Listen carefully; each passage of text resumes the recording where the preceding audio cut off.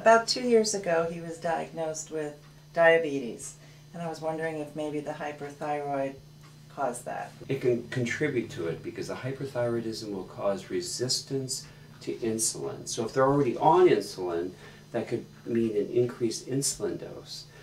But if he's not on insulin, it could be re- means resistance to his own insulin. So that means his oh. own insulin wouldn't be working like it normally would, so that would lead to mild diabetes. Oh, So commonly we'll see cats, if we get them early, just diagnosed with hyperthyroidism and diabetes, we treat the hyperthyroidism and the diabetes will go away.